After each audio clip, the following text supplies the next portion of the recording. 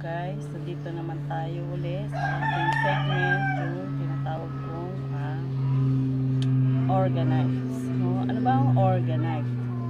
Ang organite ay ito yung nagpapabuhaghag sa ating lupa para mataniman siya. Kung mapapansin, ang, lupa natin ay ah, ah, pag umulan, na-stuck lang sa ating paso yung tubig nun, ibig sabihin yung lupa nung walang organite. Kaya hindi siya ah, bumababa yung tubig sa paso. Hindi siya tumutulo dun sa kanyang butas. Ang organite, siya yung nagpapabuhaghag sa lupa, no? Para ah, ang halaman makakuha ng oxygen sa ilalim yung kanyang ugat. So, ngayon, i-demonstrate ko sa inyo kung ano ano ah, ang organite ay ito ay ginagamit no ang pinaka um, magaling na organite ay ang buhangin. So yung buhangin alangan namang bumili ka ng ah, isang cubic na buhangin para lang ilagay mo sa iyong mga tanim. So hindi mo kailangan na gawin yun. Na bibili ka pa ng buhangin. Eh alangan bumili ka ng isang truck na buhangin para lang sa tanim mo. So meron substitute doon na pwede natin gamitin. Ito yung mga ah, ito, mga dinurog na eggshell. Pinutuyo. Ayan. So, i-demonstrate ko, no? Di ba hindi na makita? Ito. Ito yung lupa.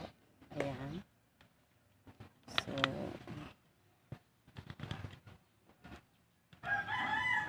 Ito yung lupa. Lupa to. oh. Dati ko itong pinagtaniman ng kamatis. Wala siyang organite.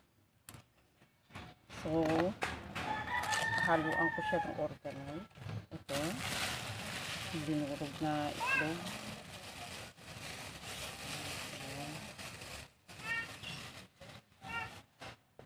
Ayan.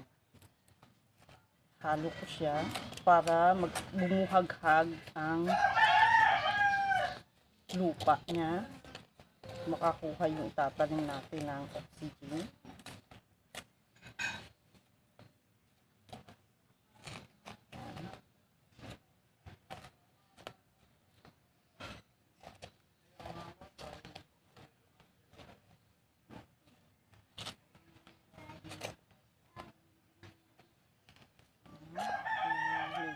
Bawasan natin no? dahil may itatanim ako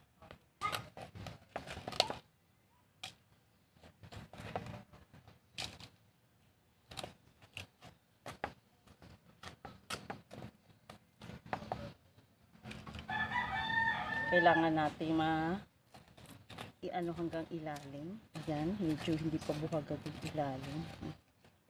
Ilalim niya. Kailangan mapunta sa ilalim. Ayan.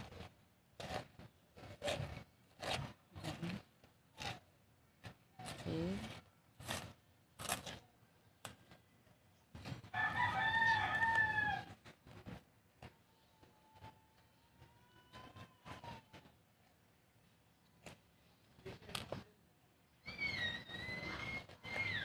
Ayan. Meron na siyang parang ah, hukay sa gitna. Lalagyan natin ng kamatis.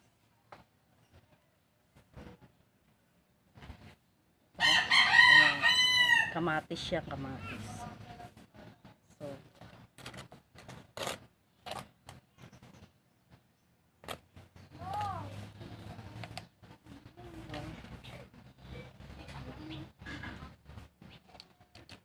ito yung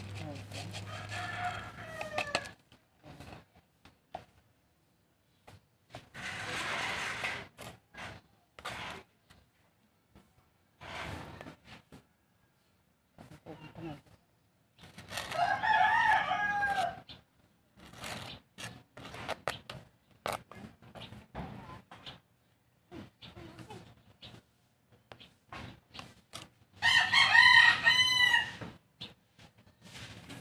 So,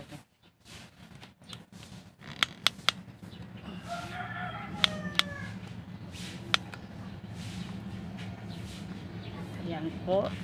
Ah, nakita nyo na kung ano yung ating itinanim, no? Kamatis. Medyo didiligan natin siya para makasigil na siya ng tubig ay ah, umaga ngayon actually nagdidilig ako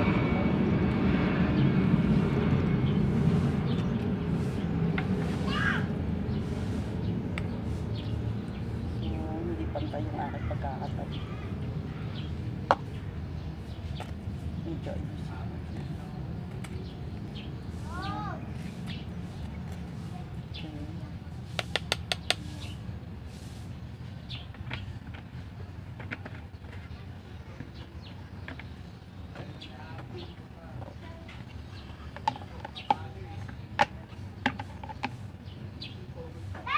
Ayan po ang aking ah, pagde-demonstrate about sa Organite. Sana meron kayong matutunan sa, sa matutunan sa aking channel. No? Yan yung isang klase. At meron pa akong isang itinandun dito. Ito. Kata at wali katatalim ko lang kahapon. Yan yung ah, luyang dilaw. Kita mo yung tubo niya. Pinatubo ko muna siya bago ko siya inibog. Ito wala siyang ah, wala akong inilagay rito ah, gaanong organite pero meron siyang fertilizer na mga dako na hinalo ko sa lupa no? Medyo ina-eksperimentohan ko kung mabubuhay ba siya o malalanta o hindi. Hinaluan ko yung lupa ng ah, mga kinat kung ginawang fertilizer na ito yung dahon. So makikita niyo medyo parang itim-itim na yan. Yan yung mga ginawa kong fertilizer na dahon. So, ganito ang itsura ng iba kong luyang dilaw. Ayan. Ito yung luyang dilaw. Malaki na siya, nandito lang, no? Marami akong inilagay dyan na, ito. Ayan. Pinato yung dahon ng na ginawa kong fertilizer nasa ibabaw. Ayan. Naghalo na siya. No? Ah, nasa ibabaw to. Ito yung inexperimentan ko. Yung nasa ibabaw lang. Ito namang isa ay yung hinalo ko sa lupa. No? Titignan ko kung mabubuhay ba siya. Lalaki na katulad nito. Or ah, mamamatay siya kasi hinalo ko yung fertilizer sa lupa. No? Hindi ko siya inilagay sa ibabaw. So, antayin nyo na lang yung update ko sa luyang dilaw na to. Papakita ko kung siya'y ah, nag-grow talaga siya o malaki o at least ito makikita nyo, mapapansin nyo ayan na yung kanyang bunga o yung laman. Mapapansin niya may laman na yan ayan, mahaba na yung laman niya. So ganito. So kung kayo ay bago sa aking channel mag-subscribe lang po kayo. At ah, i-like ang video na to at i pindutin nyo ang notification bell para updated kayo sa aking mga bagong picture. Sana meron kayo natutunan sa araw na to sa aking pagde-demonstrate tungkol sa organite. Sana naiintindihan nyo about organite. Ito'y kailangan talaga natin sa ating pagtatanim. Kasi para makakuha ng ah, hangin, ang ugat ng ating mga tanim. Kailangan lagi natin itong binubuhaghag. Kailangan buhagag lagi ang lupa at bukod doon, ah, pag ito yung nabuhaghag, mabilis itong lumalaki. Meron siyang organite, no? Kung meron ka namang buhangin, mas mabilis tayo. Kasi ang organite na eggshell ay temporary lang to, no? Ito, kaya lang naman to temporary kasi ang eggshell ay matagal siyang matunaw sa lupa. So, nagagamit to na na ano natin sa lupa na ano to sa lupa nabubuhaghag niya lupa. Actually maganda talaga ang eggshell kahit sa mga orchids no? Pag inilalagay natin namumulaklak talaga yung orchids. Yun yung kasi nakukuha doon yung yung pinakakonting ah, tulo nung laman ng itlog yun sa orchids kaya malaki ang pakinabang talaga natin sa eggshell. Kaya wag natin baliwalain na ang eggshell ay nakakatulong din sa mga halaman. hindi lang naman yung buhangin ang pwede nating gamitin kasi ah, kung wala naman tayong perang pambili ng buhangin, alang bumili tayo ng cubic. Siyempre, pag bibili ka ng buhangin, cubic ko ang ibibili mo dyan. Kung ilalagyan mo lang naman lahat sa tanim mo, ay masyadong nagastos. So, meron substitute na pwede natin gamitin. Yun ang balat ng itlog. At sana, um, lagi kayong may nalalaman sa akin no? sa pag-eksperimento ko rin ng aking mga talim. Na actually, dati nakapagpatubo na talaga ako ng luyang dilaw, no? Purong fertilizer ang ginamit ko. Talagang malaki siya. No, yun nga lang, siguro merong taong nagustuhan yung tanim na yun at ah, ayun, hindi ko alam kung hiningi ba niya o kinuha na lang niya, natuwa siya.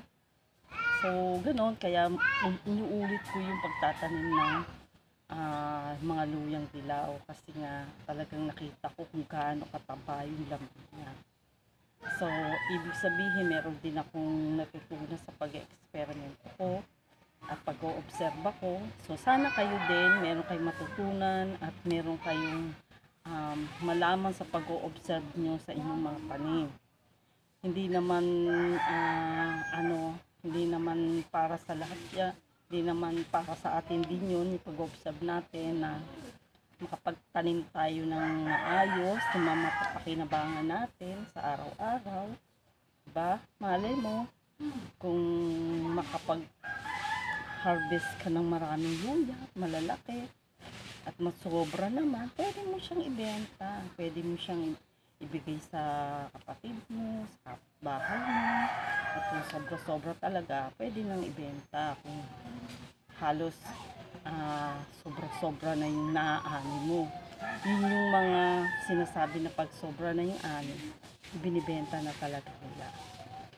So, sana meron kayo natutunang muli sa aking ah, pagtatanim at pag-observe ko at pagka uh, naintindihan nyo ang tungkol sa organite. So, salamat sa panood, panonood nitong aking seri ngayon. At sana lagi kayong may natututunan sa akin. At pwede nyo rin gawin yon. Pwede kayo rin mismo gumawa.